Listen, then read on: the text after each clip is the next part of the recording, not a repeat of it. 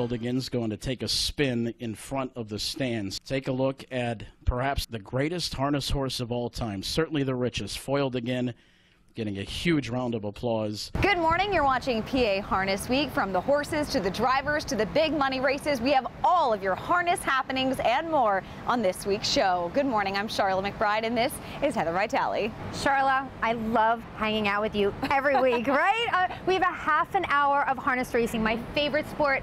Life is good. Life is good, and on this week's show, we have foiled again. The richest standardbred horse in the sports history wins his 100th race. We'll show you his milestone moment. Plus, we finally catch up with driver George Napolitano to discuss his 9,000th race a few weeks ago and take a ride in the starting car to get up close and personal with two of the game's top starting officials. All this and more in racing's fastest paced half hour.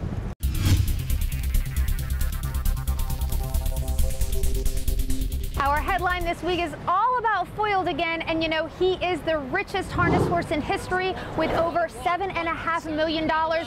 You don't get that rich without winning a few big races, right? So we're gonna go back to 2013 and get a glimpse of some of his biggest races in Pennsylvania when he won the Ben Franklin and the Breeders' Crown. Slight lead there for Razzle Dazzle. Outside foiled again. Late kick far back. Pet Rock. Pet Rock foiled again. Pet Rock foiled again. Foiled again. I believe foiled again wins the photo there. Woro Winiti trying to launch his bid after foiled again. Pet Rock waiting for the passing lane. It's foiled again. Pet Rock charging up the rail. Modern Legend there. Foiled again. Dead game. Clear vision late on the outside. Pet Rock on the inside. Photo finish. Foiled again. Fast forward to 2018 as Foiled Again goes for his 100th win at Harrah's, Philadelphia. And you might be wondering, why is this such a big deal, right? Well, since 1976, there have only been 20 horses who have had 100 wins, and only two of those horses have had 100 wins and over a million dollars in earnings. So Foiled Again reaching this milestone makes him in a very elite three-horse club in harness racing. Fair often pacing. Perseverance and foiled again left well for the lead, and foiled again is being driven aggressively. Racing in third, dropping down Brody from the outside. Artsum is in search of an early seat, but foiled again wants to control his own destiny as they round the turn and he spurts away. The lead by a length and a half. Perseverance settles into second. Artsum is parked out and looking perhaps to take a tuck in the three hole in front of Brody shy of the quarter. And Will, too darn hot, races fifth. In sixth position, Fill Your Boots, 27 and 2 for the open opening quarter, so Foiled again is on top. He will control his own fate, and he's up by a length and a half. Perseverant races second. Artsma found the three hole. Brody stays to the inside fourth. Here comes the outer flow now, led by two darn hot, who's uncovered fifth. Fill Your Boots is in behind him as they make their way towards the half. Here comes Swifties at the inside seventh, and Six Gun is third over. About eight lengths away from leader Foiled again, who's up by a length and a half now. Halftime 56 and 4. Gingras got the second quarter that he wanted. 29 and 2. Up the bank stretch, foiled again by two. Perseverant races second. On the outside, two darn hots trying to get closer. Thurn starting to be driven along now. Inside, Artsma starts to look for Racing Room fourth, and now bearing off the pocket. Here comes Perseverance after leader foiled again. So foiled again leads by three parts. Perseverance taking his aim now. Up the inside, Artsma. Opportunistic moves through into a vacated pocket. Three quarters, 125 and 2 as they round the final turn. Inside, Brody looks for Racing Room fourth. Too darn hot is gapped off cover fifth. Top of the stretch. Foiled again, set down for the drive. Gingras's asking the veteran for all he's got as they straighten away. Outside, Perseverant moves up alongside. Foiled to get under a high rain. Outside, Perseverant. Inside, it's Artsma, but it's foiled again. The Iron Horse has cemented his legacy.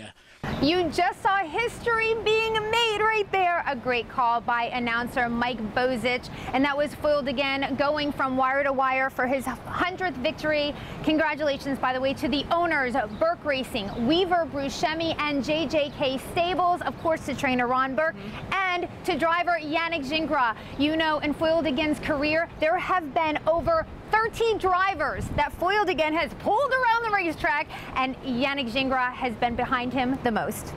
That's right. And coming up, we'll see a lot more of Foiled Again in our What's Trending segment. I'll also chat with George Napolitano about his 9,000th career victory. And we'll head to the Downs at Mohegan Sun Pocono coming up. It's skipping by on the drop from the Open Series with George Napolitano Jr. guiding her. At Mohegan Sun Pocono, the colors shine a little brighter. The meals are just a little tastier, and the slots a little hotter. When you're here with great friends, the good times seem to last a little longer, and you just may feel a little luckier. Best of all, it's all a little closer, so you can shine on anytime you like. Shine on, Mohegan Sun Pocono. The world is full of compromises, but not here. Not on this day, not in this race, not in this sport. Every bet is a hope. Return on investment comes in seconds. This is harness racing. We welcome you to the Harness Racing Fan Zone. See it all for yourself. Feel it in all the passion. Share that experience with others. The Harness Racing Fan Zone puts you in the driver's seat.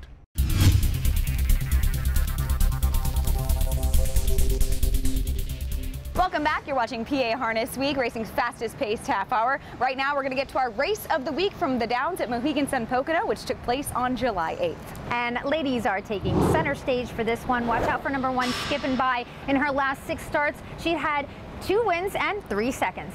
The Pacers have reached the back stretch, and they are underway. Skipping by at the pylons, immediately taking over a slight lead here with Kiss Me on the Beach going right along. Vorst is third, two back. On the outside, Princess Fabulosa will back off behind Touch-O-Matic, look for a tuck in front of Eclipse Me, who's sixth. Oceania at the back of the pack is nine off the pace, being set by Skipping By, who leads this field of seven around the turn. And they mosey to the quarter mile marker. They reach that uh, mark in 27 even. It's skipping by on the drop from the Open Series with George Napolitano Jr. guiding her, and she's out by two now at even money. Second is Kiss Me on the Beach, another two back to Vorstin from New York. It's Touch-O-Matic in fourth. She's won back to back. David Miller has her on the inside, and she patiently stays there. Princess Fabulosa is fifth, then Eclipse Me, and Oceania at the back of the pack likes to come from off the pace, and that's what she'll be doing if she has to get in contention here. The half mile 55 and 2, 28 and 2, second panel. Solid numbers up front. It's skipping by, going along well and stretching her lead to two now over Kiss Me on the Beach. Another length and a half Vorst in third. Nothing materializing on the outside yet. Touch-O-Matic is fourth and six back.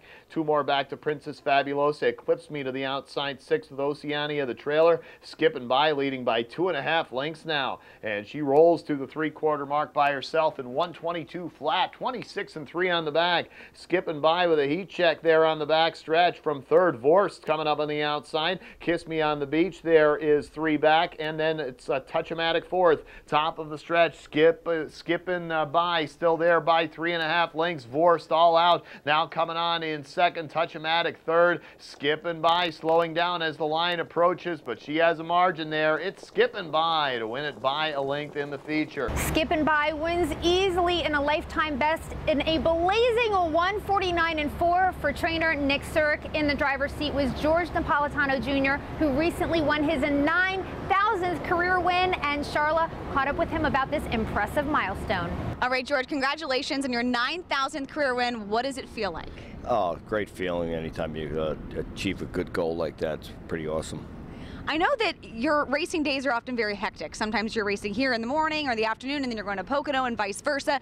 How do you balance this hectic racing schedule? Yeah, it's, it's pretty crazy. Uh, you know, just, just, seven days a week, double headers and stuff. But you just it's a grind. You just got to dig in and uh, you know push forward. Uh, and look look forward to uh, Florida a couple months off.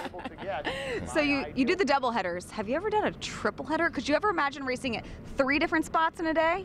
Nah, that's and, and, I know some guys do do that, wow. but yeah, it's it's crazy to do that. But uh, you know, I enjoy life. I'm very grateful for uh, you know the opportunities I have. I have a bunch of great guys uh, in my corner, and I'm just very thankful for that. So 9,000 wins. A million moments that you've had on these racetracks. Any that just stick out in your head that you kind of replay over and over again and it makes you smile? Yeah, I kind of, um, you know, the one greatest moment I thought was uh, winning the Ben Franklin in a nine hole. With luck be with you, that's that'll probably stick in my head forever. So 9,000. How long before we can expect you to get to 10,000? No, I don't know. It's a grind. it's a grind. They don't come any easier, but you know, I'm just very thankful. I got a bunch of great guys to drive for. They're very patient and uh, they're good to work with, and I'm just, you know, just keep on going forward. It's time for a little segment we like to call OMG. It's a race that made our jaws drop, our eyes widen, and it's really just too good to not show again. Underway. Abby Dorney on the inside, firing along with Drinking again. Smile and Say Cheese on the outside, aggressive early as well. And Smile and Say Cheese will take a slight lead from Abby Dorney. Drinking again tight in third, followed by Treasure Mock. And it's Santa Fe's coach finding a tuck fifth uh, if he wants it in front of Talent Soup. Jupiter Johnny is parked out seventh at the back Street Boy and the trailer Rockin' Blue. Smile and Say Cheese comes away with the lead as they round the turn and make the quarter in a quick 27 and 2.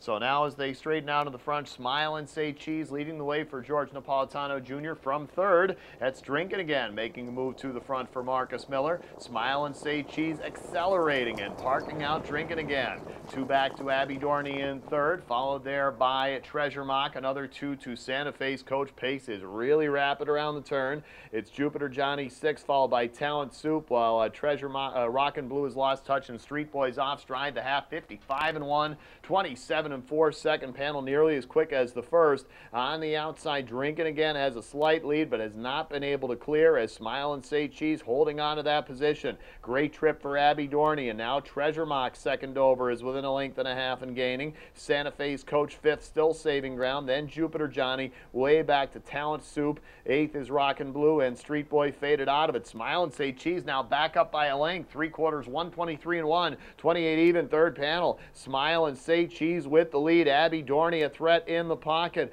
And meanwhile, Santa Fe's coach trying to squeeze through on the inside third pass, drinking again. Top of the stretch, Smile and Say Cheese. George Knapp calling on him for more. Abby Dorney pulls the pocket. Smile and Say Cheese still there. Now room inside for Santa Fe's coach as well. Abby Dorney, Smile and Say Cheese. Abby Dorney. Abby Dorney with Matt Kakaley in the bike for trainer Carl Conti Jr. wins in a lifetime best of 152 and pays $80 to win. Okay, now Abby Dorney is a little village in Ireland, and the breeder on this horse is Tim Rooney. Yes, of the famous Rooney family. Pittsburgh Steelers fame, all right? So if you're a Steelers fan, right, or you're a little Irish, you may have had this. Hunch bets are definitely worth putting a few dollars down. And we have a whole lot more coming up on PA Harness Week from right here at Harrah's, Philadelphia, and we'll show you a very special blast from the past. Mr. Herbie has taken the lead. Intimidate could not trot with him.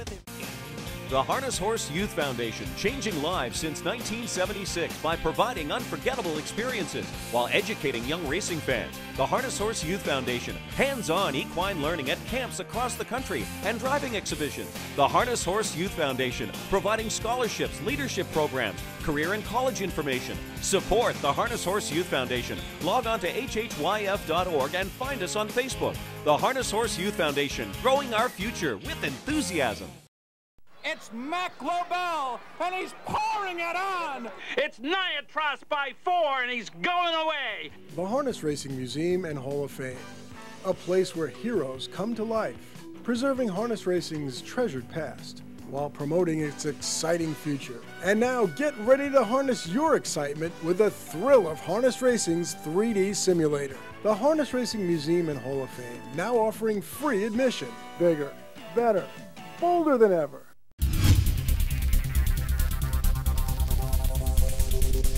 Welcome back to PA Harness Week. Our next race of the week is from right here at Harrah's, Philadelphia.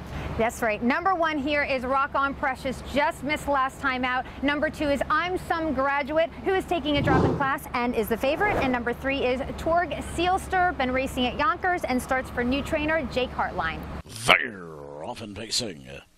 On the outside, Honey I'm Home left well. I'm some graduate and rock on precious kick forward from the inside, but it's Honey I'm Home who crosses over from the center. And Honey I'm Home's up a length now as they round the turn. To the outside, I'm some graduate stays on.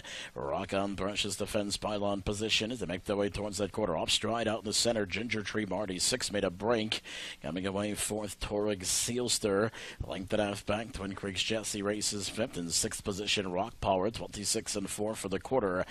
Casino Bangs Carlo is seventh, and way behind Ginger Tree Marty. In front of us for the first time, and I'm some graduate shows the way now. Leads it by a length, released by Honey I'm Home with five eighths to go. Rock on Precious is third. Torg Sealster is in line fourth. Twin Creeks Jesse races fifth now. Starts up to the outside. Rock Power looks to join the outer flow as well. Casino Banks Carlo is seventh, and Ginger Tree Marty's trying to get back into it. 55 and one up the back stretch. 28 and two second quarter for I'm some graduate. Honey I'm Home races second. Torg Sealster now grinds up wide third. Rock on Precious pinned to the inside fourth. Twin Creeks Jesse is gapped off cover fifth. Rock Power third up into the fray, about seven lengths off the lead. Casino Banks Carlo looks to tighten down from the inside, and Ginger Tree Marty has eliminated himself as they hit the final bend. I'm some graduate by a half outside Torg Sealster. Right there, third Honey I'm Home, three quarters, 122 and four. Rock on Precious now angles off the pylons fourth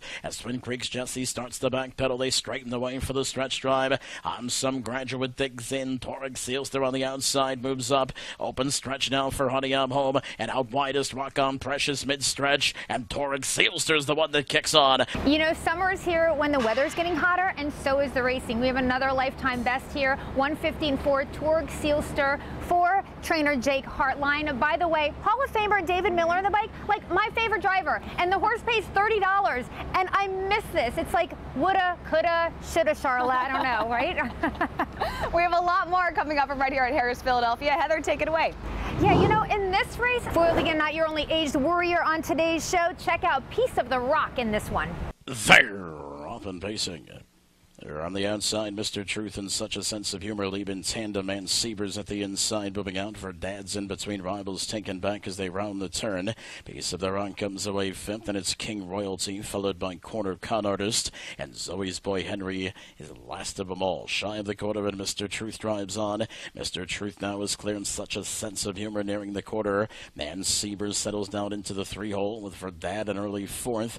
Piece of the Rock is next, quarter up in 27 and 2. They make their way towards us for the first time. Mr. Truth unchallenged, uncontested. Such a sense of humor with the watchful eyes second. Man Sieber is third. The outer flow's underway, led by Verdad, who takes up the first over going. Piece of the Rock picks up that cover with five eighths to go and comes under Bongiorno urging. Outside King Royalty is sixth, rounding the turn. Corner Con Artist looks to save ground, and Zoe's Boy Henry's fourth over into the flow. They've reached the half in a time of 56 and 2. 29 second rating up the bank stretch. Mr. Truth by three parts, now a half. Outside Verdad takes same second. Such a sense of humor. Tightens down in the pocket, third by a length. On the outside, second up, fourth comes Piece of the Rock, two and a half lengths off the lead. And now Bongiorno sends him out three wide. Inside, Man Sieber looks for racing room. Third up on the flow comes King Royalty as they round the turn. Corner Con Artist and Zoe's Boy Henry still with them all to pass. Three quarters, 124 and three. They round the turn. Mr. Truth by a half.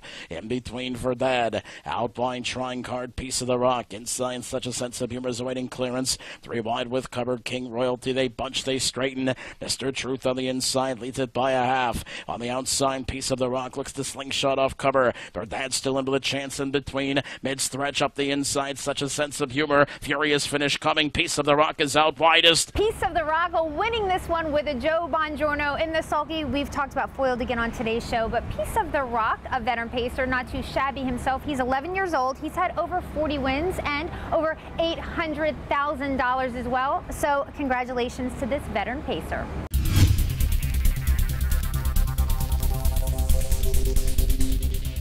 In this week's Blast from the Past, we are heading back to 2013 and the Breeders' Crown. Market share stole the show then, and he's stealing this show now. And they're off. Wishing Stone broke. Wishing Stone was going to charge out of there, and he jumped it off, leaving. So Intimidate is fastest off the wings from between horses, and he clears easily before the opening turn. Market share on the inside, racing in second. Mr. Herbie is parked first over. Arch Madness has room to fit in on the inside, fourth. Uncle Peter is fifth on the outside. My MVP immediately to his inside, sixth. Wishing Stone caught back trotting quickly, but he's seventh on the outside as they near the quarter. Guccio is racing in eighth, and Cervuga backed off the gate where he trails the field, and the front split is up in 26 and 4. And Intimidate is out there winging under a strong hold from Pierce, and he drags his way clear to a two and a half length margin. Market share in the loose pocket spot. Tracks along in second. Mr. Herbie is right there third. Arch Madness gaps about two lengths further back and forth. Uncle Peter just floating up first over in fifth. My MVP six. Arch Madness flush to the outside. So Uncle Peter has his cover to follow as they circle the turn, reaching the half in 54 and three. Savruga taking the short route in traffic. Wishing Stone is eighth on the outside, and Guccio stacked up last with excess cover and trails the field. Intimidate taking no prisoners on the front end. Still a length and a half clear. Mr. Herbie is underway. First over for Jody Jamieson, and he's gaining ground on the outside now into the second spot. Market share in the loose pocket, racing in third. My MVP riding the pylons all the way in fourth. Arch Madness is fifth on the outside as they head around the far turn. Three quarters in 122 and one,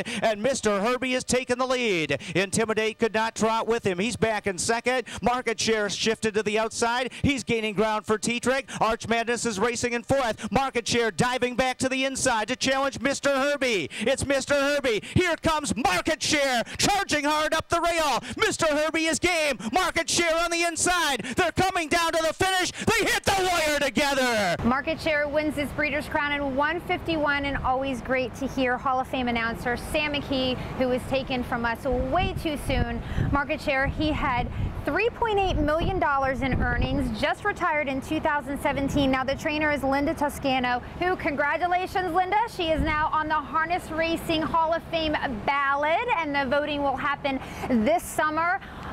Linda Toscano, my gosh, so much about her. 2012 Trainer of the Year. She trained the Horse of the Year, Chapter 7, among other world champions. Also on the ballot, by, by the way, is Ted Gewertz, Ted Wing, Blair Burgess, and Joe Holloway. So good luck to all of you guys.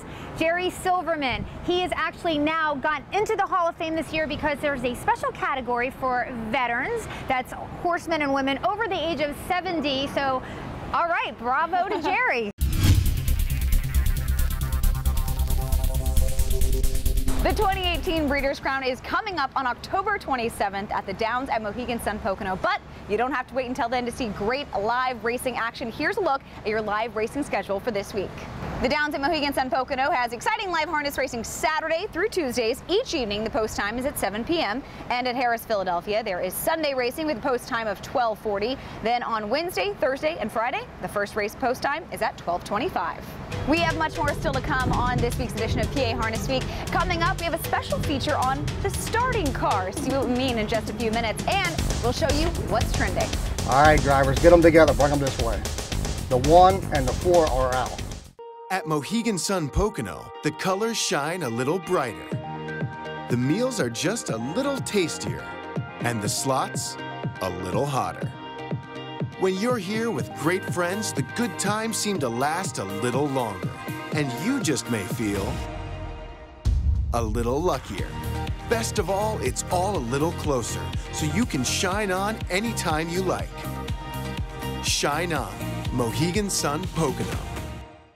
This message is brought to you by the more than 23,000 folks all across the Commonwealth, your friends, your neighbors, who proudly earn their living in Pennsylvania's horse racing and breeding industries. Each year, horse racing provides well over $4 billion in economic impact statewide, and horse racing is directly responsible for jobs tens of thousands of solid, good paying jobs in Erie, Harrisburg, Philadelphia, everywhere you look. Horse racing in Pennsylvania. It's a winner.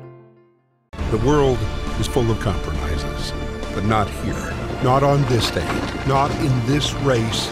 Not in this sport. Every bet is a hope. Return on investment comes in seconds. This is harness racing. We welcome you to the Harness Racing Fan Zone. See it all for yourself. Feel it in all the passion. Share that experience with others. The Harness Racing Fan Zone puts you in the driver's seat.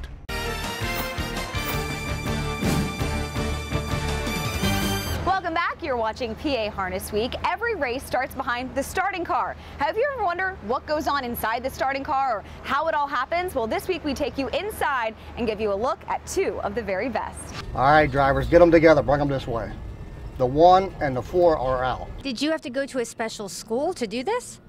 Um, I did the qualifiers at Poconos for a couple years, and then I did the fairs around uh, Pennsylvania for two years. Then I've been here since 06. All right, go. Absolutely love my job. I trained back in the 70s and 80s. I uh, got away from the business. Uh, when I sold the business I was in, uh, my son-in-law, who's also a horse trainer, told me about this job when this track was opening back in 2006, 2007. I called Shu up. Uh, we've been together ever since, and it's like being back in the business without the hassles of it. We're following the horses around. We act as a patrol judge to make sure there's no interference. After the race, the drivers will get come back by us, and if they think they were interfered with, they'll tell us where, what happened. We'll call the judges, and they'll look at it. One of the things I love about this business, here's a retired airline pilot. He flew cargo, not passengers. 72 years old, owns a couple horses, comes here during the summer, drives and trains himself, and does very well. What other business can you be in where you're in your 70s and be competitive?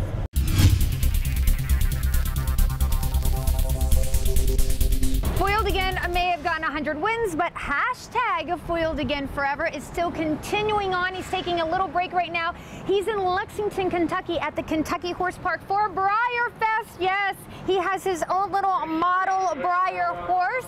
So everyone always says, I want to own a horse like Foiled Again. Hello, you can get him, you can own him. Anyway, he'll be greeting thousands of fans in Lexington, so have fun with that Foiled Again. And you mentioned people wanting to own a horse like Foiled Again. Well, you can have this lovely beanie baby of Foiled Again. And there's a big giveaway coming up, but we're not going to tell you where. We're not going to tell you when. That's a little bit of a teaser for a show in a few weeks. That's right. And you know, the media has absolutely adored Foiled Again. He made ESPN's SportsCenter's top 10 after that big 100th victory. He's even been in the Wall Street Journal. I mean, this horse has been everywhere. And of course, he's been lighting up social media. Let me just read a few of the tweets that happened on the day he won. Right Hines says, just another day at the office for hashtag Foiled Again Forever. Bow down, people. Nina says, congratulations to the one and only Foiled Again who took his 100th career win today. What a horse, made of steel and the heart of a lion. And Yannick Gingras, of course, his regular driver on Twitter said, today is a day I will forever remember. Foiled has given me so many great memories and being able to win this one with him is beyond special. Thanks, old boy, for all the thrills. And then he ends it with five yellow hearts, which I thought was a nice touch. And you can always find us on social media at harnessweek.com. You can find us on Facebook at Harnessweek and on Twitter at PA Harnessweek. It's been another great show. Thank you so much for tuning in this half hour. Make sure to always catch us on Saturday mornings right here at 1030 on NBC Philadelphia.